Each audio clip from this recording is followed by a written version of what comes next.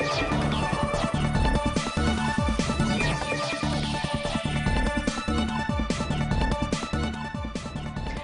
Bonjour et bienvenue à tous. Vous regardez sur le web l'émission qui décortique pour vous toute l'actualité via Internet. Aujourd'hui, pour cette édition spéciale, au 16e jour de l'opération Bordure Protectrice, nous verrons comment Israéliens et Palestiniens utilisent les réseaux sociaux pour transmettre ensemble un message de paix. Notre dossier du jour concerne l'histoire de Yael, une blogueuse très influente sur la toile qui s'est liée d'amitié avec un jeune hacker palestinien. Une jolie histoire d'amour qui a fait tomber les préjugés que chacun pouvait avoir sur le camp inverse. Mais tout d'abord, nous allons parler de ces nouveaux documents d'identité au cœur des débats au sein de la Knesset. Et pendant que la guerre s'intensifie à Gaza, les députés de la Knesset débattent autour d'un sujet très important, la mise en place d'une base de données qui regrouperait eh bien l'intégralité des informations concernant chacun des Israéliens. Par mesure de sécurité, le pays a mis en place un nouveau système biométrique, une carte d'identité intelligente reliée à un data center. La biométrie, je vous le rappelle, c'est ce système qui permet d'identifier les personnes grâce à des données physiques qui peuvent aller de l'empreinte digitale à la reconnaissance de l'iris de l'œil. Alors, ces cartes d'identité et euh, ces passeports pilotes ont été livrés. Euh, ils ont été présentés hier par le ministère de l'Intérieur, des nouvelle génération qui ont cependant montré eh bien, certaines erreurs, erreurs d'identité ou identité intervertie entre deux personnes, documents perdus et une base de données dont la sécurité n'était en fait pas supervisée depuis plus d'un an. Un mauvais départ, mais un projet toujours en cours. Et alors que le conflit s'intensifie entre le Hamas et Gaza, les internautes continuent à se mobiliser pour la paix. Pour ça, ils ont lancé un nouvel hashtag Jews and Arabs refuse to be enemies. Les Juifs et les Arabes refusent d'être ennemis pour montrer que toutes les confessions peuvent s'entendre. Leur mission prouver au monde que l'amour est plus fort que la guerre avec des photos et des messages qui inondent la toile. Une page Facebook a été créée et regroupe déjà plus de 7000 likes. Un projet lancé le 13 juillet avec une première photo publiée par Soulomé Anderson. Vous la voyez euh, sur vos écrans, une journaliste d'origine libanaise. Euh, on y voit la jeune femme embrasser son petit ami qui lui est juif. Beaucoup ont suivi le mouvement. Regardez.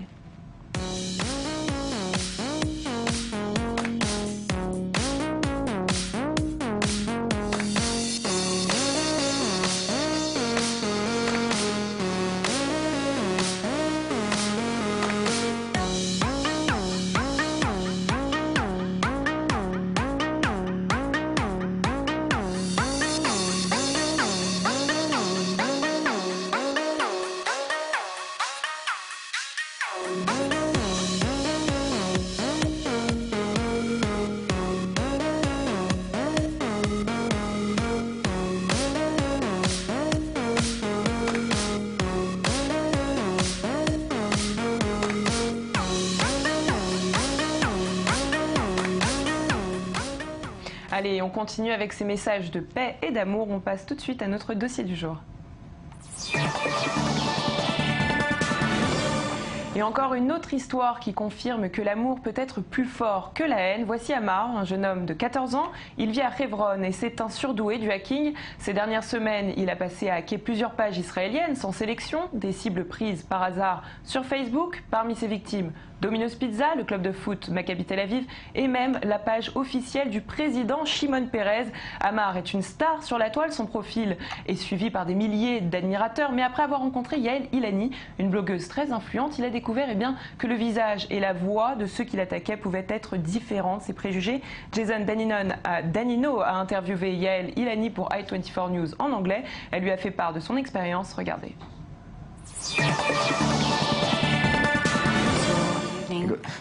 Donc vous et Amar, vous êtes maintenant amis. Comment cela a-t-il commencé?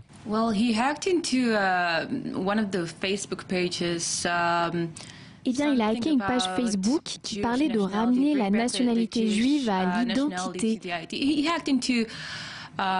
Il écrivait sur cette page et j'ai commencé à écrire sur cette page, mais juste des messages privés.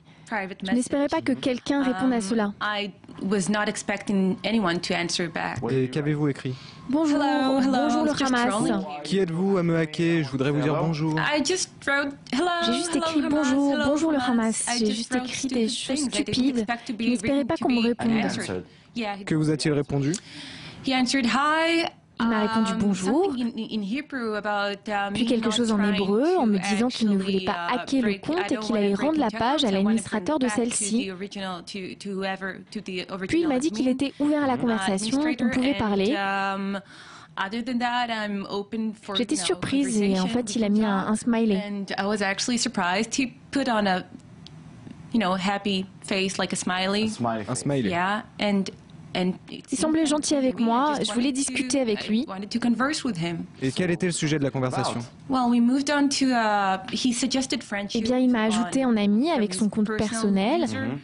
Et c'était un peu embarrassant parce que nous étions tous les deux un peu of suspicieux vis-à-vis de l'autre. You know, from the get-go, because, well, both of us were kind, we're looking, you know, we're suspicious about the other side. So Logique s'il est un hacker pour le Hamas et que vous êtes une Israélienne. Oui, il voulait hacker mon compte, mais Il ne l'a pas fait. Non, il ne l'a pas fait. Il était ouvert à la conversation et il m'a juste posé des questions personnelles auxquelles j'ai répondu, car je n'ai rien à cacher, I wanted to hear his side. of the et je voulais entendre sa version de l'histoire en fait. Mais d'un autre côté, il peut être agressif ou énervé comme n'importe quel enfant de 14 ans dont ses proches sont attaqués en ce moment même. Il était vraiment gentil et j'ai dû lui expliquer que je n'étais pas une ennemie. Je voulais juste savoir qui il était. I got to explain to him, um, well, that I'm I'm not one of you know I'm not an enemy, and I'm well. I just wanted to to know who he was. I- Alors, si j'ai bien compris, il vous aime bien maintenant. Oui, je pense, oui. Et qu'est-ce qu'il a fait pour vous depuis que vous êtes devenus amis Well, ever since he found out that I'm a Depuis qu'il s'est rendu compte que j'étais de gauche, Um, il s'est calmé, il a compris que je n'étais he pas une ennemie. down. He understood that I'm not an enemy. Contre eux. Yeah, and uh, although I can defend Israel at times. Oui, et même I si je peux défendre Israël de understand temps where en temps, from. je comprends très bien d'où il vient. Ce qu'il um, se passe, c'est que parce que je suis de gauche, je suis la mm, cible des utilisateurs de Facebook d'extrême droite. users. And there was one girl Et il y a une fille, une extrémiste de droite, qui a posté des uh, photos de moi en écrivant que j'étais laide et, et que je devrais...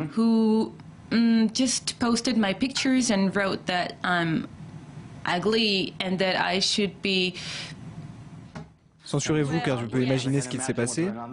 Elle a écrit quelque chose de très méchant. Des choses sexuelles qui m'étaient arrivées. Et qu'a-t-il fait pour vous défendre? Eh bien, j'ai publié sur mon Facebook, regardez, elle a fait ça, ce n'est pas gentil, quelque chose comme ça. Et d'un coup, il a commenté, hacké, H-A-C-K-E, avec un smiley en souriant. Et moi, j'étais là, hacké, hacké, parce que je le soutenais le fait qu'il désactive son compte, juste pour me défendre, car j'étais la cible de la blague. Il s'est introduit dans son profil, puis il a juste supprimé la photo de moi et les méchants commentaires qu'elle avait écrits à mon propos. Puis il s'est déconnecté de mon compte et de son compte.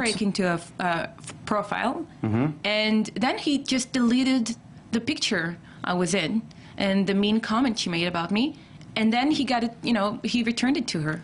Parlons de la photo qu'il a faite de votre bébé. Oh yeah, that's. What's Quelle est l'histoire? Well, actually. um, Quelques minutes après a few que- Maintenant sur votre écran par ailleurs. Oh my God, yeah. Oh mon Dieu, oui, notre petit amoureux. Um, Une personne me l'a envoyé en me disant, c'est ce à quoi ressemblera votre enfant. Et je is trouvais ça adorable. Même si je ne voulais I pas avoir de bébé au début, je trouve qu'il est vraiment beau. Je veux dire, c'est un roux. J'adore les roux. I mean, he's a redhead. I love redheads. Do you think you'll ever meet? Et pensez-vous le rencontrer? Well, I suggested he'd come over for Je lui ai proposé qu'il vienne prendre une glace chez moi. And Et? And I don't think he can, Je ne pense pas qu'il puisse techniquement, avec ses think histoires de he carte d'identité. Il ne peut pas vraiment venir me voir à Tel Aviv. Um, Et je ne and sais pas si je peux aller à Hebron.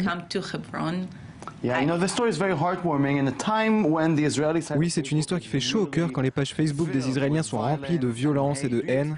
Avez-vous subi vous-même des violences? Yeah. Yeah. All the Tout le temps. time. So can this uh, can we see an optimistic side that Y a-t-il un côté optimiste Un début de conversation, cela peut faire la différence. difference? I'm a very pessimist person by nature. That's why I love like black humor and all. And Je suis une personne naturellement très pessimiste et c'est pourquoi j'adore l'humour noir. Ça a brisé mon côté cynique en quelque sorte. Je ne sais pas. Il dit que j'ai changé sa vision des Israéliens. C'est très facile de mettre les gens dans des cases. Il m'a dit que j'avais changé sa vision des choses et il a définitivement changé la mienne. He said I changed his mind, and he definitely he definitely affected my, you know. I think it's a beautiful story. C'est une très Thank you jolie histoire. Merci d'être it venu. Merci. Et au 16e jour de l'opération Bordure Protectrice, la guerre s'intensifie à Gaza. Des dizaines de soldats sont morts et la société israélienne tout entière est touchée au cœur. Sur Facebook, les pages de haine à l'encontre des Arabes israéliens et des Juifs partisans de la gauche israélienne sont de plus en plus nombreuses. Des activistes de droite ont lancé une page Facebook, Not It in Our School, pas dans la même école, qui s'attaque aux Arabes israéliens censés soutenir le Hamas. Pour cela, on dévoile leur profil et on demande à leurs employés de les licencier. Il faut noter que de nombreux profils, comme celui euh, que vous avez vu sur votre écran, votre écran, sont en fait de faux profils. Mais si Israël s'inquiète aujourd'hui, ce n'est pas pour ces profils, mais plutôt euh, pour ce qui se passe en ce moment dans les rues du pays où la violence éclate, comme à Haïfa ou Tel Aviv, où les partisans de l'extrême droite israélienne s'attaquent à ceux qui manifestent contre la guerre et cette opération militaire. Et puisqu'on en parle de cette guerre entre la droite et la gauche, je vous propose de voir cette vidéo postée sur YouTube. Elle a été faite par l'artiste israélien Aurel Bitan. Elle a filmé un acteur grimé en terroriste du Hamas qui prononce une série d'insultes. Seulement, ces insultes ont toutes été récoltées sur Facebook et elles viennent de juifs israéliens de droite injuriant d'autres juifs israéliens de gauche. Regardez. تموتوا كلهم يا بني الزنوط يا عودين الزغد عطيلي من تلفيف زعونش مع אלוהים יבוא יום שהרפים ישחטו לכם את המשפחה מול העיניים שלכם. תשרמוטות, בני שרמוטות. תחפפו לנו מהמדינה, יא גזע נחות. חבל שלא הושמדתם כולכם באושוויץ. אינשאללה, עזה יפציץ אתכם ואת הבתים שלכם. לך תזדייני ושיזיינו אותך ערפים. הלוואי שתמות על ידי מחבל שישחק לך את הפרצוף. שתתפוצצי באיזה פיגוע יחד עם הכלבה שהמליטה אותך. ותמות מה ותקושה וכואב. Une vidéo qui montre bien évidemment par effet de miroir que la haine n'a pas de visage. Et on revient maintenant sur les dérapages via WhatsApp dont nous avons parlé dans nos émissions précédentes. Cette application diffuse des informations, parfois censurées par l'armée, qui peuvent s'avérer être fausses. Trois soldats viennent d'être arrêtés pour avoir diffusé des noms de soldats morts pendant les combats. Avant même que l'annonce soit officielle, l'armée a lancé une enquête concernant ces fuites, parmi lesquelles une fausse information avait été diffusée, celle d'un soldat mort. Son nom avait été envoyé à sa famille alors qu'il était toujours en vie. Le porte-parole de Tsahal a confirmé que l'armée utilise de nouvelles technologies pour retrouver ceux qui ont lancé la rumeur. Les mesures prises n'ont pas été révélées, mais Tsahal fera son possible pour arrêter tous les suspects euh, dans les jours à venir. L'armée parle aussi d'une nouvelle loi qui devrait être mise en place. Les soldats devront désormais prendre conseil auprès de leur commandant avant toute publication afin de vérifier qu'elle ne portera pas atteinte aux services de renseignement, à l'armée ou à leur propre sécurité. Et on continue à parler de ces vidéos qui viennent de Syrie. Parfois, elles sont utilisées par le Hamas pour la propagande. Des images violentes qui n'ont rien à voir avec Gaza et qui sont utilisées pour faire basculer l'opinion publique. Du coup, sur cette même lancée, certains Israéliens illustrent la stratégie du bouclier humain utilisé à Gaza qui s'est avéré euh, être vrai. Pour cela, ils postent euh, des vidéos qui proviennent de Syrie. Regardez.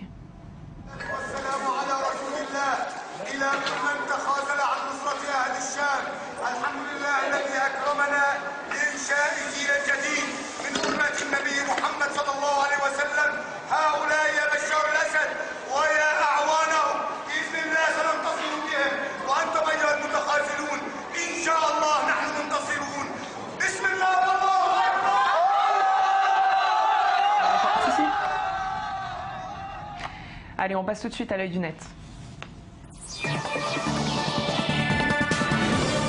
Hier, vous avez vu cette vidéo de John Stewart en train d'apporter son soutien aux habitants de Gaza et critiquer la politique d'Israël dans son émission Le Daily Show. Suite à cela, il avait invité Hillary Clinton qui défendait Israël. Jusqu'ici, de nombreux internautes accusaient le présentateur d'être anti-Israël. Mais d'autres de ses réflexions euh, qui dénoncent euh, le Hamas lui ont attiré eh bien, euh, les foudres des pro-palestiniens. Le conflit israélo-palestinien est un sujet assez délicat à traiter, on le sait. John Stewart, qui se dit neutre et ne pas vouloir prendre de parti, a répondu avec humour à tous ceux qui voulaient l'attaquer à travers cette vidéo sans s'expliquer le problème de journaliste.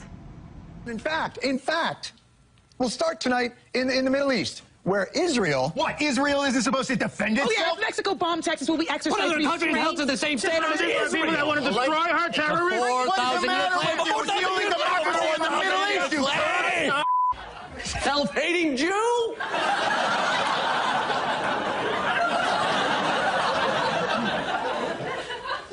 That was that was weird. anyway, what I was what I was saying was last Thursday saw the start of a new ground offensive launched by Israel. Oh. Tradition! Et c'est la fin de cette émission. Merci de nous avoir regardés. On se retrouve pour une nouvelle édition spéciale demain, même endroit, même heure, sur i24 News. Ne zappez pas, l'information continue.